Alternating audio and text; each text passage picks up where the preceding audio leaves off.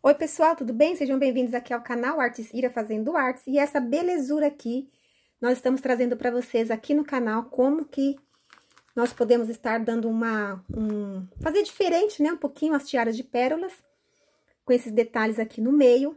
E nós vamos estar fazendo esse aqui no vídeo.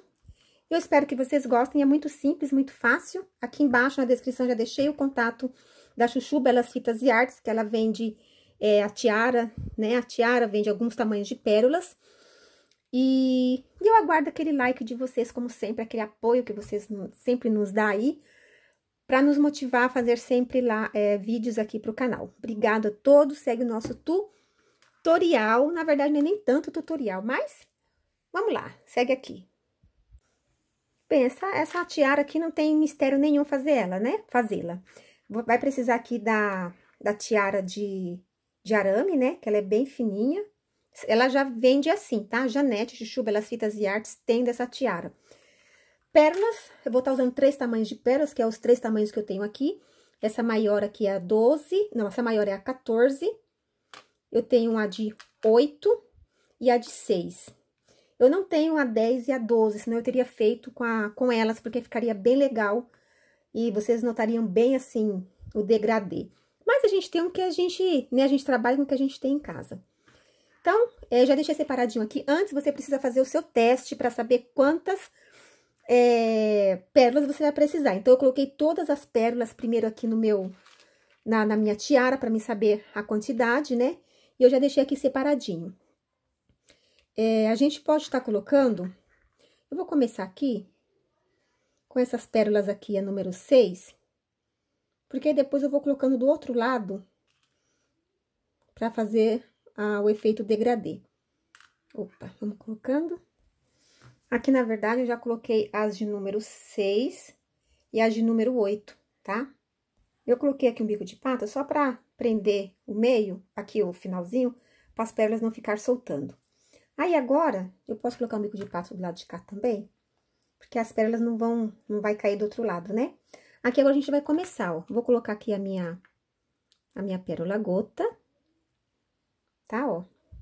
E eu vou colocar um, um pouquinho de... Deixa eu tirar aqui que ele endureceu aqui a ponta da cola, tá? Você pode usar, como eu te falei anteriormente, a cola E6000, a T6000, a B7000, tá, ó. Deixa eu passar aqui na minha a minha tiara. Essa parte aqui tá grossa. Peraí que eu vou só tirar aqui, porque ela saiu... Deixa eu tirar essa parte grossa da cola, que às vezes dá, dá, dá disso, né? Pronto. Agora, passei aqui. Agora, eu venho e coloco a minha... Passar mais uma, uma gotinha só aqui na ponta, tá? Aí, eu vou colocando as minhas tiaras e de vez em quando eu vou colocando um pouco... Oi, já, colo... já tinha colocado aqui a minha pérola, minha gota, gente. Peraí, deixa eu tirar isso aqui e colocar que eu já tinha colocado, olha. Nem percebi. Deixa eu abaixar ela.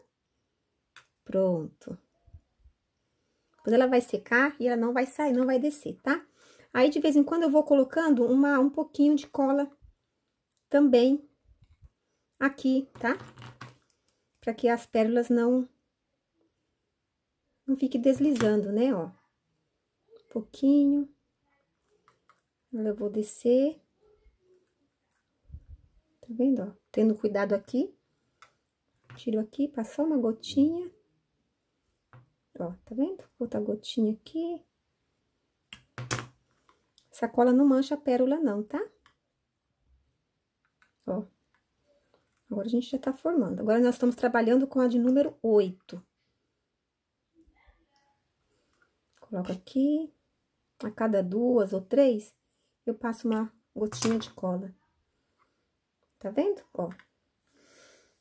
Pronto. Feito isso, agora a gente vai trabalhar com as pérolas de número 12, 14, tá? Ó. A gente coloca as pérolas de número 14, só que eu vou colocar entre elas esse entre meio aqui, ó. Tá? Ó, coloco a pérola. O entre meio. Como eu disse para vocês, eu já fiz antes a contagem da quantidade de pérolas que eu vou precisar, tá? Porque de, de, de repente você é, vai querer usar a mesma quantidade que a minha, mas pode ser que a sua tiara de ferrinho, né, ela dá uma diferença aí de alguns milímetros, né, ou talvez até um centímetro de circunferência e não vai dar a quantidade que, que, eu, que eu também é, utilizei aqui. Então, cada um tem que fazer o seu teste. Primeiro, você coloca tudo na tiara e vai ali, né, ajeitando para saber a quantidade, tá? Pronto, já vou aproveitar e colocar também as de número 8. Porque aí depois eu deixo no final só as de número 6. Lembrando que o mesmo que você colocar de um lado, você também tem que colocar do outro lado, tá certo? Vamos aqui. Aí, aqui eu vou colocar também um bico de pato, tá? Para as tiaras, para as pérolas não descerem. Agora, eu venho aqui, ó, e vou fazer a mesma coisa. A cada, né? Vou passar uma gotinha da cola.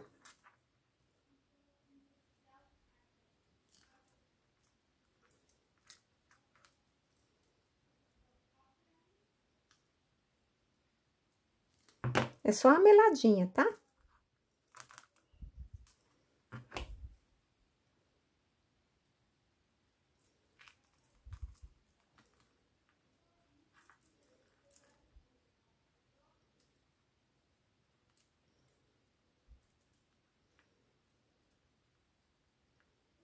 Aí, a gente vai fazendo até terminar aqui. Tá aqui, agora, por final, a gente vai colocar as de número seis. Você pode estar tá fazendo de, de, todas as cores aí, né? Tem várias é, é, pérolas, né? Coloridas, lindas. Tem umas irisadas também que são lindas. Só não sei que, se elas têm de todos os tamanhos, grandões, assim número 12, número 14, eu não sei. Mas a gente sabe que pérolas, né, tem até o número, acho que também tem de 20 milímetros, aquela bem gigante. Vou mostrar para vocês aqui um, um trabalho com as pérolas, umas únicas que eu tinha aqui, e que deu para mim fazer um trabalho com ela. Eu vou mostrar para vocês.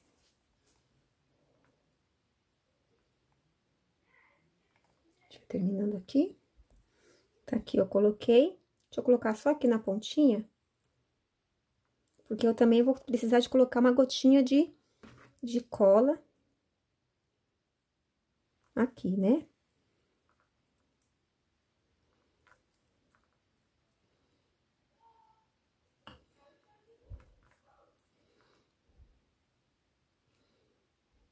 Pronto, agora, por fim, a gente vai colocar a gota.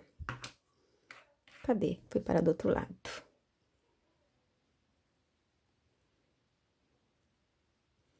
Tá aqui, gente, ó. Então, olha, o trabalho ficou assim depois de pronto. Nós utilizamos, então, esse aqui. Do lado de cá, a número 8, a gente precisou de uma, duas, três, quatro, cinco, seis. Do lado de cá também seis, uma, duas, três, quatro, cinco, seis. A número é, 6, nós precisamos de 1, 2, 3, 4, 5, 6, 7, 8, 9, 10, 11, 12, 13. E também 13, 1, 2, 3, 4, 5, 6, 7, 8, 9, 10, 11, 12, 13. Tá? Então, aqui, espero que vocês tenham gostado. Então, esse foi o nosso trabalho. Como eu falei pra vocês que eu ia mostrar, eu achei essas pérolas aqui, é desse tamanho, tanto é que eu comprei somente, né, a unidade, porque foi onde eu achei aqui. Não foi barato essas pérolas, porque aqui onde eu moro é caro esse tipo de coisa. Mas eu comprei só esses aqui pra vocês verem, olha. Então, ficou uma bem grande. Tá vendo? E eu fiquei apaixonada. Mas eu quis trazer pra vocês aqui também, aí que vocês podem fazer com a pérola de 20, aí você vai diminuindo, né? Você pode fazer com a de 18, aí você vai diminuindo, ou pode fazer com, com a de 20, pode fazer com a de 16 e com a de 14, tá bom? Conforme vocês gostam aí, conforme vocês queiram também. Então, esse foi o nosso passo a passo, mas não foi nem tanto um passo a passo, né? Só foi aqui uma, uma forma de vocês estarem também fazendo. Até mais!